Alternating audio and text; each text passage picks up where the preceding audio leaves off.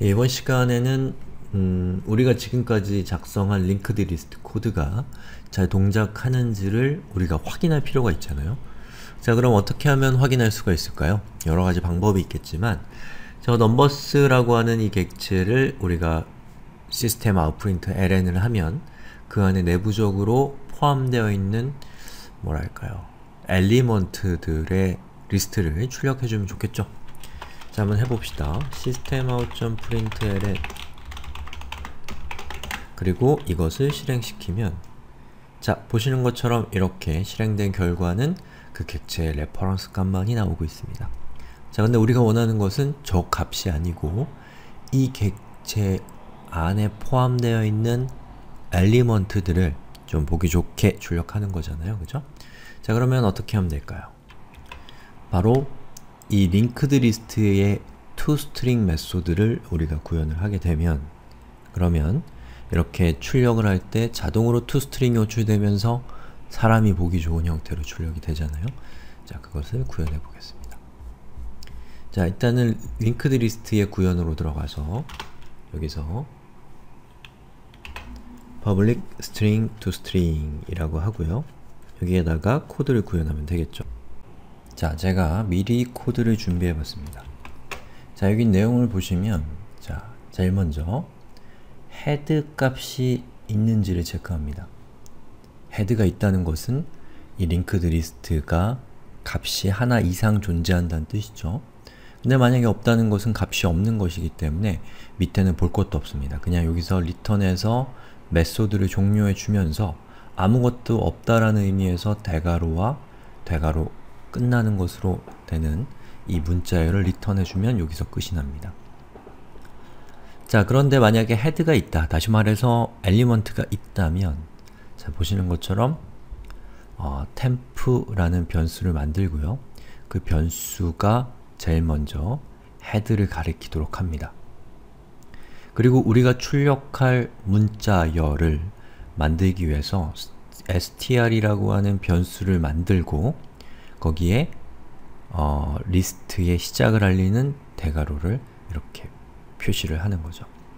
그래서 끝날 때 여기 있는 중간 코드를 생략하고 return 값을 보면 어떻게 어떻게 만들어진 문자열에다가 이렇게 대괄호를 더해줘서 이것을 리턴하게 되면 대괄호와 대괄호 사이에 우리가 입력한 값들이, 우리가 등록한 값들이 이렇게 문자열이 만들어져서 출력이 되게 될 겁니다.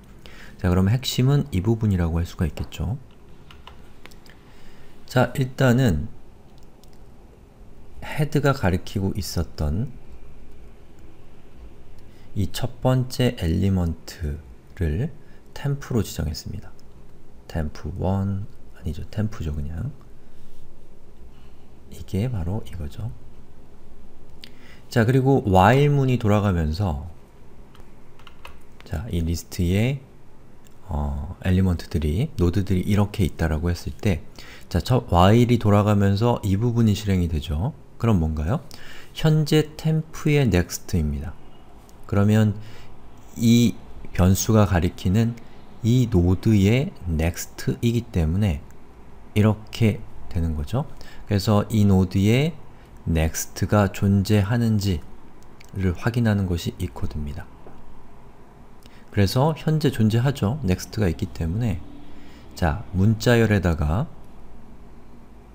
temp 데이터, 즉 현재 템프가 가리키고 있는 이 데이터의 값을 어, 추가하는데, 더해주는데 그 뒤에다가 콤마를 붙입니다. 자, 이 콤마는 바로 이것 때문에 콤마를 붙이는 거죠. 구분하기 편하도록. 그 다음에 템프에 next를 하게 되면 바로 이 템프의 next니까 이 녀석을 의미하죠. 이 녀석을 템프로 지정을 합니다. 그러면 템프는 이제 이 노드가 되는 것이죠. 자 그렇게 반복 반복 반복을 하게 되면 어디까지 오냐면 next가 없는 next가 없잖아요? 바로 이 node까지 temp가 도착하게 돼요. temp가 그렇죠? 그리고 이 node는 보시는 것처럼 temp next의 값이 null이기 때문에 이 while문의 조건을 충족시키지 못하기 때문에 이 while문은 여기서 종료가 됩니다. 그 얘기는 뭐예요? 여기 있는 이 구문이 실행되지 않는다는 뜻인 거죠. 그렇다면 이 마지막에 있는 이 노드는 예, 이 출력 결과에 포함되지 못하는 그런 어, 결과를 갖게 됩니다. 그래서 이 뒤에 이렇게 수동으로, 손으로 temp.data를 해서 이 마지막에 위치하고 있는 이 temp 변수가 가리키는 저 node의 데이터 값을 문자열에 포함시키고 그 것을 이렇게 화면에 출력하고 있는 것이죠.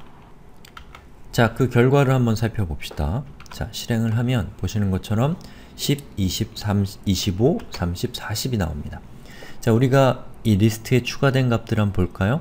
자, addLast로 해서 10, 20, 30, 40을 했고 그 중간에 인덱스 2에 25를 추가했습니다. 0, 1, 2이기 때문에 바로 이 사이에다가 25를 추가한 거죠. 그리고 우리가 출력하는 결과와 같다는 것을 볼 수가 있죠. 자, 이렇게 해서 우리가 작업한 내용을 좀 편리하게 우리가 출력해서 확인하는 그런 방법에 대해서도 알아보겠습니다.